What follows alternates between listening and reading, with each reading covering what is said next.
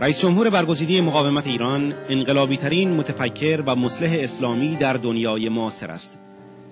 زنی متحد که می تواند با رسوا کردن بنیادگرایان اسلامی مارتین لوتر اسلامی شود. انقلاب دموکراتیک اسلامی مریم رجبی ممکن است دوران بنیادگرایی را به عصر روشنگری تبدیل کند.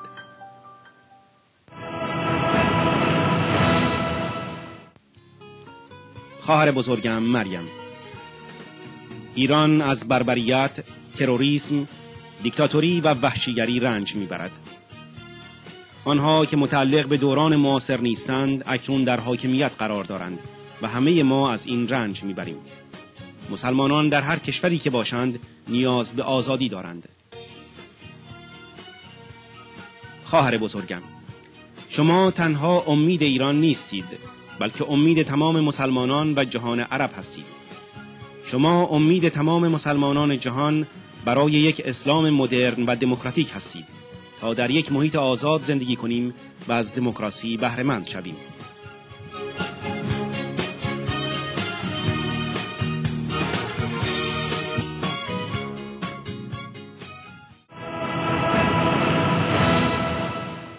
پروفسور ویتاتاس لندبرگیس رئیس جمهور سابق و نماینده لیتوانی در پارلمان اروپا.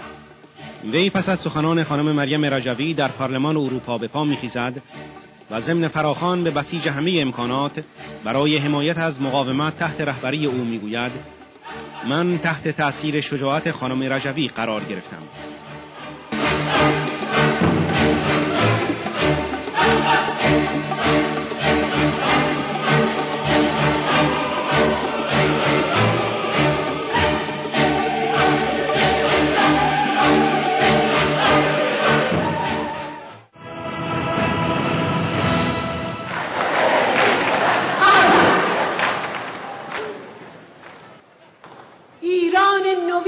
بنا کنیم یک جامعه آزاد و یک کشور پیشرفته.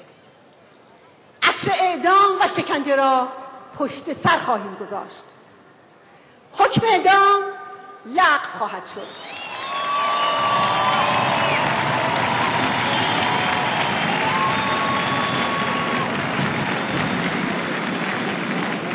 بساط محاکم ارتجایی و مجازات های قرون وسطایی را برخواهیم چید.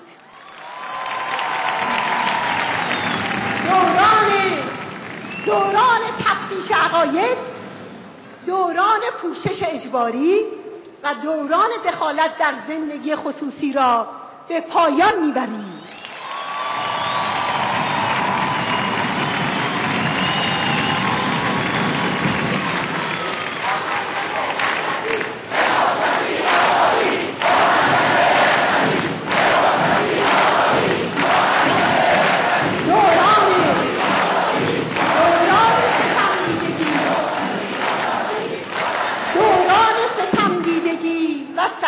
سرکوبی فاجعه بار زن ایرانی را خاتمه خواهیم داد. زنان زنان در همه زمینه ها حقوق و آزادی های برابر با مردان را از آن خود خواهند ساخت. و زنان و زنان در رهبری سیاسی جامعه سهم برابر به دست می آورند